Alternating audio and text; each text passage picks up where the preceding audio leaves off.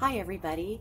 I'm Dr. Adriana Karpati with Foot and Ankle Associates of North Texas on a pretty nice evening to talk to you about some pretty cool stuff.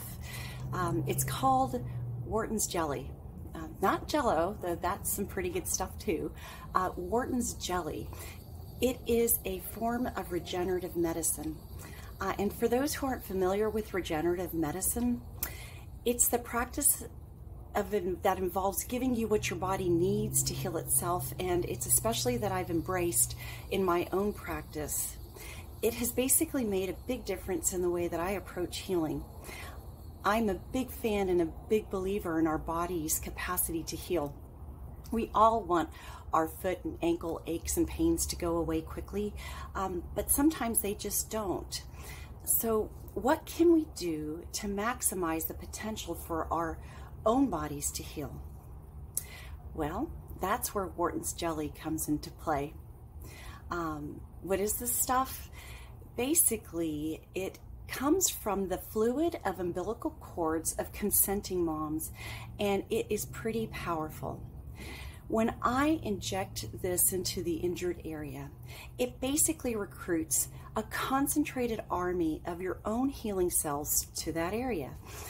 And once they get there, the Wharton's jelly tells your army of cells to start making what they need to make in that area to help that area heal. And this stuff also gives them the growth factors and proteins to help them do it. Wharton's jelly is pretty powerful.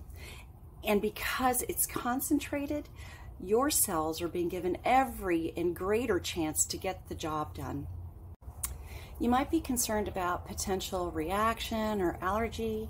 Um, know that be because it comes from amniotic fluid, um, the potential for an allergic reaction or rejection is minimal to none because Wharton's jelly hasn't had the chance to develop what could cause an allergy in your own body. And uh, this is what makes it very safe. Um, is Wharton's jelly right for you?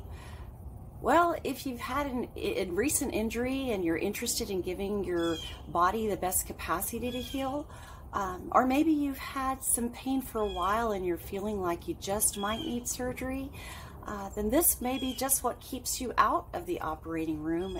And I am certainly happy to help you do just that.